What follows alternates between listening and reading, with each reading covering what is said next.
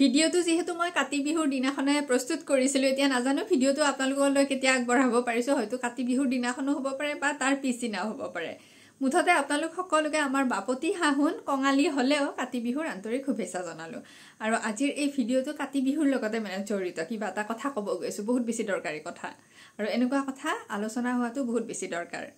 পোন প্ৰথমতে কৈ দিওঁ ভিডিঅ'টোত যিখিনি কথা ক'ব গৈছোঁ এনেকুৱা নহয় যে এই কথাখিনি কেৱল মাত্ৰ ময়ে জানো। আপোনালোকৰ বহুত লোকে জানে কিন্তু এনেকুৱা কথাবিলাক আলোচনা হোৱা দৰকাৰ। আলোচনা হোৱাৰ লগে লগে কি হয় ধৰক মই যিখিনি জানিলোঁ মই ক'লোঁ মই কোৱাৰ লগে লগে আপোনালোকেওতো জানে ন এই বিষয়বস্তুৰ ওপৰত। আপোনালোকে ধৰক কমেণ্ট দিলে বা বা নিজৰ ফেচবুক ৱালতে লিখিলে বা কোনোবা বোলে কিতাপে লিখিলে মুঠতে এই কথাবিলাক আলোচনা হোৱাটো বহুত বেছি দৰকাৰ।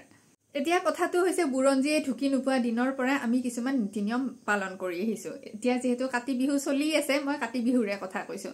এই যে কাতি বিহুৰ সময়ত আমি তুলসীৰ তলত চাকি জ্বলাওঁ খেতি পথাৰত চাকি জ্বলাওঁ ইয়াৰে আঁৰত কিছুমান বিজ্ঞানসন্মত কাৰণো আছে আৰু লগতে এটা ধৰ্মীয় দৃষ্টিভংগীও আছে। কেৱল মাত্ৰ কাতি বিহুত বুলিয়ে নহয় গোটেই বছৰটোত আমি যিবিলাক নীতি নিয়ম মানো নহয় তাৰে আঁৰত কিছুমান বিজ্ঞানসন্মত কাৰণ থাকে। কিন্তু পৰিতাপৰ বিষয় হৈছে এইটো কিছুমান লোক আছে আজিকালি তেওঁলোক খুব বেছি আধুনিক হৈ গৈছে। তেওঁলোকে মানে কেনেকুৱা কৰে ধৰক এই আজিকালিৰ যুগতে আৰু কাতি বিহু পালে নে তুলসীৰ তলত চাকি জ্বলাই নে এনেকুৱা কৰাটো একেবাৰে অনুচিত। আৰু আজিৰ এই মানে কি বুলি কওঁ কলিযুগে পৰিছে দিয়কচোন এই কলিযুগতো যিসকলে নিজৰ শিপাডাল ধৰি আছে আধুনিক হোৱাৰ লগতে সেই নীতি নিয়মসমূহ মানি আছে নহয় তেওঁলোকক সঁচাকৈ কৈছোঁ অন্তৰৰ পৰা বহুত ধন্যবাদ। এই নীতি নিয়মখিনি আপোনালোকে যে পালন কৰি আছে এইটো মানে কেনেকুৱা কথা হৈছে জানেনে? খুব সুন্দৰ কথা কিছুমান আপোনালোকে আপোনালোকৰ নেক্সট জেনেৰেশ্যনক দিছে। এই কথাবোৰ জেনেৰেশ্যন বাই জেনেৰেশ্যন গৈ থাকিব। এতিয়া হয় কাতি বিহুৰ কথালৈ। কাতি বিহুৰ সময়ত যে কেৱল মাত্ৰ তুলসীৰ তলতহে চাকি জ্বলোৱা হয় বেলেগ গছৰ তলত জ্বলোৱা নহয়। ইয়াৰ কাৰণটো কি বাৰু? ইয়াৰ কাৰণটো হৈছে এইটো যে তুলসী গছ হৈছে বহুত বেছি পবিত্ৰ গছ। ঔষধিটো হয় লগতে পবিত্ৰও হয় আৰু তুলসী গছে যথেষ্ট পৰিমাণে অক্সিজেন বতাহত এৰি দিয়ে। যি দূষিত বতাহ বা দূষিত বস্তু থাকে আৰু বতাহত সেইখিনি শোষণ কৰি শোধন কৰি আৰু অক্সিজেন এৰি দিয়ে। এই ক্ষেত্ৰত তুলসী গছে বহুত বেছি ভাল কাম কৰে। আমি বহুত লোকে এনেও সদায় সন্ধিয়া বা ৰাতিপুৱা তুলসীৰ তলত চাকি জ্বলাওঁ। যিসকলে বিভিন্ন কাৰণত জ্বলাব নোৱাৰে তেওঁলোকে অন্তত বছৰত এদিন হ'লেও কাতি বিহুৰ যি নিয়ম আছে সেই নিয়ম অনুযায়ী তুলসীৰ তলত চাকি জ্বলাব। ইয়াৰ ফলত কি হ'ব? তেওঁলোকৰ মানসিকতাটো এনেকুৱা নহ'বনে অ' এডাল খুব পবিত্ৰ গছ এডাল দৰকাৰ এডাল ঘৰত থাকিব লাগে। সেই কথাটো তেওঁলোকৰ সন্তানেও দেখিব। তাৰ ফলত কি হ'ব? ঘৰত তুলসী গছ এজোপা থাকিবই অন্তত এজোপা হ'লেও থাকিব। তাৰ ফলত কথাটো কি হ'ল? তেওঁলোকৰ ঘৰত ঔষধি গছ এজোপা আছে লগতে ক'লোৱে তুলসী গছে কেনেকৈ আমাৰ বায়ু শোধন কৰে। এতিয়া চাওকচোন কিমান বিজ্ঞানসন্মত কাৰণ লুকাই আছে আৰু এই যে কাতি বিহুৰ সময়ত ভঁৰালৰ সন্মুখত বা খেতি পথাৰত যে চাকি দিয়া হয় ইয়াৰ আৰুতো এটা বিজ্ঞানসন্মত কাৰণ আছে। ধান পকিব হৈছে এতিয়া। নিশ্চয় খেতি পথাৰত এন্দুৰ চিকা কীট পতংগৰ উপদ্ৰৱ হ'ব। যেতিয়া একে সময়তে বহুত লোকে খেতি পথাৰত চাকি জ্বলাব চাকিটো কি অগ্নি নহয় জানো? জুই তাত থাকিব হয়নে? গতিকে কি হ'ব? কীট পতংগই নিশ্চয় ভয় খাব বা ইমান কি জ্বলিছে মানে? হয়নে কথাটো? কিমান বিজ্ঞানসন্মত কাৰণ লুকাই আছে। আৰু কাতি বিহুৰ আগে আগে ঘৰ দুৱাৰ ভঁৰাল ইত্যাদি পৰিষ্কাৰ কৰাৰো এটা নিয়ম আছে। যিহেতু কেইমাহমান পিছতে পথাৰৰ লখিমী আহি ভঁৰাল পাব। এতিয়া যদি এন্দুৰ ইত্যাদিৰ উপদ্ৰৱ হয় তেতিয়াহ'লেতো ধানখিনি ধ্বংস হৈ যাব ন? সেইটো এটা নিয়ম যে কাতি বিহুৰ আগে আগে ঘৰ দুৱাৰ পৰিষ্কাৰ কৰিব লাগে। আৰু আমি যে চাকি জ্বলাওঁ সেই অগ্নি তত্ত্বটো হৈছে এটা খুব বেছি পজিটিভ এনাৰ্জি জুইৰ বহুত ৰূপ আছে কিন্তু চাকি ৰূপে আমি তাক যেতিয়া জ্বলাওঁ সেয়া হৈছে খুব বেছি পজিটিভ এই যে আমি চাকি জ্বলালোঁ এটা পজিটিভিটি ভঁৰালৰ আগত চাকি জ্বলালোঁ এয়া এটা পজিটিভিটি সেই ভঁৰালতে আহি ধান থাকিব। কিমান বেছি পজিটিভ হয়। আৰু এটা কথা দিয়ক মই যে এনেকুৱা ধৰণৰ কথাবোৰ কওঁ বহুতে ভাবে মই গাঁৱৰে ছোৱালী গাঁৱৰে বোৱাৰী নহয় মই গুৱাহাটীৰে জীয়ৰী। বিয়া হৈ পাঠশালাত থকা খুব বেছি আঢ়ৈ বছৰ মানহে হৈছে এই কথাবিলাক মই সৰুৰ পৰাই অনুধাৱন কৰিছোঁ। মানে কোনোবা যদি টাউনীয়ে ভাবিছে গাঁৱলীয়া কাৰণে এইবিলাক কৈছে কথাবোৰ তেনেকুৱা নহয়। টাউন গাঁও এইবিলাকে মেটাৰেই নকৰে। ভোকত ভাতেই খাম খেতি পথাৰৰ পৰাই চাউল আহিব।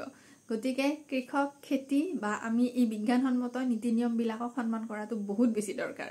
আৰু এই নীতি নিয়মবিলাক আমি জেনেৰেশ্যন বাই জেনেৰেশ্যন প্ৰবাহমান কৰি থকাটো বহুত বেছি দৰকাৰ। এতিয়া এই যে কাতি বিহুৰ সময়ত তুলসীৰ তলত চাকি জ্বলাওঁ ইয়াৰ ধৰ্মীয় কাৰণটো হৈছে কি বহুতেতো জানে আজিকালি টিভিটো ইমান ধুনীয়া আমাৰ আধ্যাত্মিক চিৰিয়েলসমূহ দিয়ে সেইসমূহ চাইও বহুত কথা শিকিব পাৰি।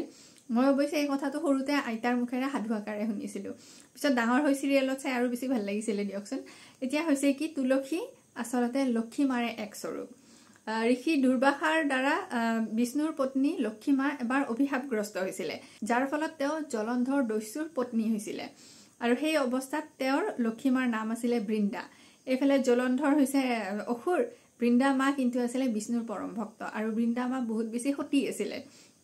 সেইকাৰণে কি হৈছিলে সেই সতীত্বৰ কাৰণে মানে জলন্ধৰে এক ধৰণৰ বিশেষ শক্তি পাইছিলে আৰু সেই জলন্ধৰক কোনেও হত্যা কৰিব পৰা নাছিলে। এইফালেতো জলন্ধৰে এইফালে চাৰিওফালে তাণ্ডৱ কৰি আছে চবকে মাৰিছে। শিৱ বাবাই জলন্ধৰক হত্যা কোনো বৈধ্য কৰিব পৰা নাছিলে কাৰণ কিয়? তেওঁৰ পত্নী বৃন্দা বহুত বেছি সতী আছিলে। যে কি কৰা যাব?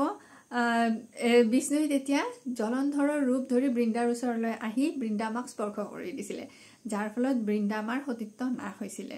আৰু তাৰ ফলতে শিৱ বাবাই জলন্ধৰক হত্যা কৰিব পাৰিছিলে। আৰু তেতিয়া বৃন্দা আমাৰ বহুত বেছি খং উঠিছিলে। তেতিয়া তেওঁ শিৱ বাবাকো কৈছিলে যে তোমাৰ পূজাত মই কেতিয়াও ব্যৱহাৰ নহওঁ। সেইকাৰণে শিৱ পূজাত বা শিৱলিংগটো মানে তুলসী কোনো পধ্যে দিয়া নহয়। শিৱ বাবা আৰু তুলসী মানে একদম কোনো পধ্যে মানে ব্যৱহাৰ নহয় আৰু। আৰু বৃন্দামাই তেতিয়া বিষ্ণুকো অভিশাপ দিছিলে যে বিষ্ণু যিহেতু তেওঁৰ সতীত্ব নাশ কৰিছে কৈছে তুমি পাষাণ হবা। তোমাক মই অভিশাপ দিছো। পাষাণ মানে শিল। আৰু সেই অভিশাপ মৰ্বে শালিগ্ৰাম বুলি কয় যে শিৱলিংগ শিৱলিংগ শিৱ বাবাৰ প্ৰতীক তেনেকে শালিগ্ৰাম বুলি কয় যে জানে আপোনালোকে। শালিগ্ৰাম হৈছে বিষ্ণুৰ প্ৰতীক। সেই বৃন্দামাৰ অভিশাপ মৰ্মে মানে শালিগ্ৰামৰ সৃষ্টি হৈছিলে আচলতে তেনেকে কয় মানে শাস্ত্ৰই। আৰু লগতে বৃন্দামাই বিষ্ণুক এইটো কৈছিলে যে যিহেতু বিষ্ণুই তেওঁক স্পৰ্শ কৰিছে এতিয়া বিষ্ণুই তেওঁক বিয়া কৰাব লাগিব মানে। তেতিয়া বিষ্ণুই কৈছিলে ইতিমধ্যেতো তেওঁৰ পত্নী আছে লক্ষীমা বৃন্দাক বিয়া কৰাব নোৱাৰে। কিন্তু তেতিয়া তেওঁ বৃন্দাক এটা মানে কি দিছিলে বৰদান দিছিলে যে বৃন্দাই বৃন্দামাই পৃথিৱীত তুলসী ৰূপে জন্ম পাব। আৰু সেই শালিগ্ৰামত তুলসী পাত দিবই লাগিব। শালিগ্ৰামত তুলসী পাত নিদিলে শালিগ্ৰামৰ পূজাই নহয়।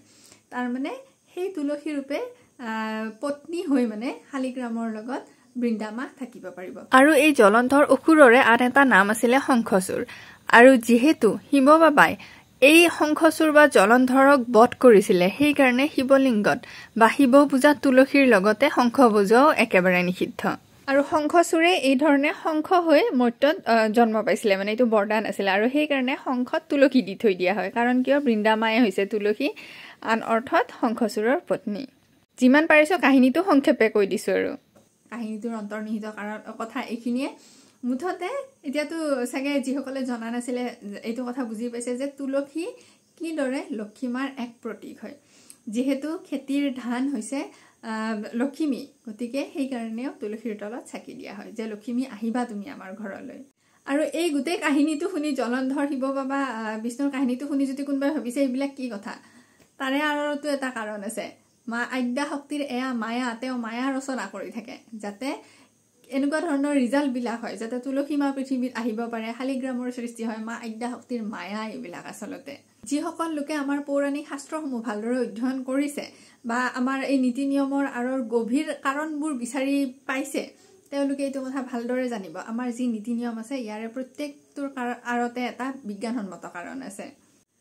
আমাৰ যি বেদ উপনিষদ শাস্ত্ৰসমূহ আছে নহয় আমাৰ পৌৰাণিক ঋষিসকলে লিখি থৈ গৈছে আমাৰ প্ৰতিগৰাকী ঋষিয়ে বিজ্ঞানীতকৈ কোনো গুণে কম নহয় বৰং তেওঁলোক বিজ্ঞানীসকলতকৈও ওপৰত আছিলে।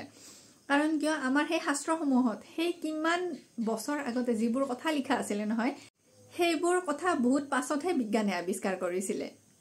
আনকি কোনো উন্নত সা সঁজুলি নোহোৱাকৈ সেই কিমান বছৰ আগতে ঋষি শ্ৰুশ্ৰুতে প্লাষ্টিক চাৰ্জাৰী কৰিছিলে। সেইকাৰণে চিকিৎসা বিজ্ঞানত যেতিয়া এজন ছাত্ৰই মানে তেওঁ শপত গ্ৰহণ কৰে ঋষি শ্ৰুশ্ৰুতৰ নামত কৰিব লগা হয়। আৰু এই কথাটো আমাৰ ভাৰতবৰ্ষই নহয় গোটেই মই জনাত আৰু গোটেই বিশ্বতে প্ৰচলিত হয়।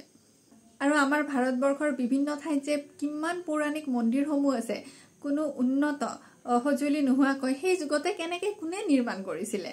তেতিয়াহ'লে আমাৰ পুৰণা শাস্ত্ৰসমূহত বিজ্ঞান নাই বুলি ক'লেই হ'বনে? যোনে তেনেকে কয় তেওঁলোকে ওপৰতে কয় কথাটো ভালদৰে হয়তো অধ্যয়ন নকৰে। আনকি এইটো কথা জানিও আচৰিত হ'ব আমাৰ কামাখ্যা শক্তিপীঠত যি আমাৰ পাৰম্পৰিক গুৰু আছে তেওঁলোকে যে আমাক কৌলাচাৰত দীক্ষা দিয়ে মানে যিসকলে তেওঁৰ ওচৰত দীক্ষিত আৰু মই তেওঁলোকৰ কথা কৈছো মোৰ লগতে সেই দীক্ষাও একদম বিজ্ঞানসন্মত মতে দিয়া হয়। একদম বিজ্ঞানসন্মত। গতিকে কোনোবাই যদি সেই দীক্ষা লোৱা নাই বা সেই বিষয়ে নাজানে তাৰে ওপৰত বিৰূপ মন্তব্য দিলেতো নহ'ব। আমি দীক্ষিতসকলে জানো ন যিবোৰ আমি কৰোঁ ধৰক সেইবিলাক কথা এনেকৈ কৈ দিব নোৱাৰি মানে সেইবিলাক আচলতে বহুত গুপ্ত কথা হয়। কিন্তু তাতেও বিজ্ঞান লুকাই আছে। আমি আধুনিক হ'ব লাগে হয় কিন্তু নিজৰ শিপাডাল কেতিয়াও এৰি দিব নালাগে। নিজৰ শিপাডাল এৰি দিয়াৰ লগে লগে কি হ'ব? জানোৱে আমি সকলোৱে হয়নে? এই ক্ষেত্ৰত এটা বহুত ভাল উদাহৰণ দিব পাৰোঁ। ধৰক আমাৰ ভাৰতৰ দাক্ষিণাত্যৰ লোকসকলক। তেওঁলোক আধুনিকো হৈছে লগতে তেওঁলোকে তেওঁলোকৰ যি পাৰম্পৰিক নীতি নিয়ম কেতিয়াও এৰি নিদিয়ে। এই কথাটো কেনেকৈ জানিছোঁ? ধৰক আপোনালোকৰোতো আমাৰ ভাৰতৰ দাক্ষিণাত্যৰ চিনাকি লোক আছে ঠিক তেনেকৈ মোৰো আছে তেনেকৈ আমি কথাবোৰ পাতিলে গম পাওঁ ন?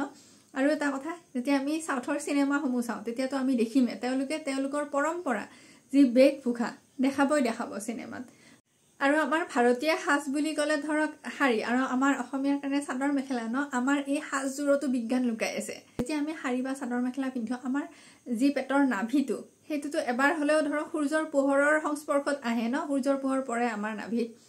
আমাৰ শৰীৰৰ কেন্দ্ৰ বুলি সেই নাভিটোকে কোৱা হয়। যেতিয়া আমাৰ নাভিত সেই সূৰ্যৰ পোহৰ পৰে নহয় তেতিয়া কি হয়? আমাৰ শৰীৰৰ বহুত বেমাৰ আজাৰ নোহোৱা হয়। সেইটো বহুত বেছি দৰকাৰী। এটা কথা এই যে আমাৰ পুৰুষসকলে যে ধুতি পিন্ধে ধুতিৰ যিবিলাক পাক দিয়া হয় নহয় তাতো এটা বিজ্ঞান লুকাই আছে। সেই ধুতিৰ পাকবিলাকৰ কাৰণে পুতুককৈ এটা নিগেটিভ এনাৰ্জি তেওঁৰ ওচৰত আহিব নোৱাৰে। আৰু এই কথাবোৰ আলোচনা হোৱাটো বহুত বেছি দৰকাৰ হৈ পৰিছে কাৰণ মই ভিডিঅ' দিওঁ যে তেতিয়া গম পাওঁ কিছুমানে আহি আহে আৰু ওপৰতে এটা কমেণ্ট কৰে আৰু। তেতিয়া মই গম পাওঁ মানে এই ব্যক্তিজনে নাজানে অধ্যয়ন কৰা নাই। আমি অধ্যয়ন কৰাটো বহুত বেছি দৰকাৰ কাৰণ আমি যেতিয়া বস্তুবিলাক আলোচনা কৰিম নহয় আজিকালিতো সৰু ল'ৰা ছোৱালীয়ে মোবাইলটো লয়। তেওঁলোকেও দেখিব তেওঁলোকেও জানিব অ' এইটো কাৰণে এইটো হয় এইটো কাৰণে এইটো হয়। সেইকাৰণে ভিডিঅ'টোৰ প্ৰথমতে কৈছিলোঁ মানে এইটো আজি এটা আলোচনা ধৰণৰ ভিডিঅ' মই ধৰক মোৰ মনত যিখিনি কথা আছিলে ক'লোঁ এতিয়া আপোনালোকে যি ধৰক আপোনালোকৰ ধৰণেও কথাবোৰ জানে নহয় বিজ্ঞানসন্মতভাৱে। খুব সুন্দৰকৈ কমেণ্ট কৰিব বুলি গঠনমূলক কমেণ্ট কৰিব বুলি মই আশা ৰাখিলোঁ আৰু আপোনালোকৰ সেই কমেণ্টে মোৰ লগতে আন দৰ্শকসকলকো নিশ্চয় সহায় কৰিব। আৰু এইবিলাক কথা এনেকুৱা নহয় যে এটা ভিডিঅ'ত পাতিয়ে শেষ কৰি দিলোঁ। আৰু আছে এনেকুৱা ধৰণৰ কথা। এতিয়া আজি মোৰ মনত যিখিনি আহিছে সেইখিনি কৈছোঁ। আপোনালোকে যদি এনেকুৱা ধৰণৰ গঠনমূলক ভিডিঅ'সমূহ ভাল পায় ভৱিষ্যতেও বাৰু মোৰ মনত কিবা কিবি কথা যেতিয়া আহে মানে কেতিয়াবা মানে এনেকুৱা হৈ যায় একদম মানে আজি চব কথা আহি আছে ব্ৰেইনত। কৈ দিওঁ নেকি ভিডিঅ' কৰি? কাৰোবাৰ নিশ্চয় কামত আহিব আলোচনা এটা হওক আৰু গঠনমূলক। সেনেকুৱা হ'লে মই বাৰু আৰু দিম দিয়ক ভিডিঅ' আপোনালোকেও ক'বচোন মনৰ কথাবোৰ মানে এনেকুৱা গঠনমূলক কথাবোৰ আৰু। ঠিক আছে তেতিয়াহ'লে মই আশা ৰাখিলোঁ মোৰ আজিৰ এই ভিডিঅ'টো নিশ্চয় আপোনালোকৰ অকণমান টিকলামান হ'লেও কিবা এটা কামত আহিছে। আৰু দৰ্শকসকল আপোনালোকে যে এতিয়া গঠনমূলক কমেণ্টসমূহ দিব নহয় সেইসমূহ কিন্তু মোৰ লগতে আমাৰ দৰ্শকসকলৰ নিশ্চয় কামত আহিব। ঠিক আছে বাৰু ভিডিঅ'টো চাই কেনেকুৱা পালে কমেণ্ট কৰি জনাব বুলি আশা ৰাখিলোঁ। তেতিয়াহ'লে মোৰে কোনোবা এটা অন্য ভিডিঅ'ত অতি সোনকালে আপোনালোকক পুনৰ লগ পাইছোঁ। জয় মা কামাখ্যা ওম নমে শিৱায়।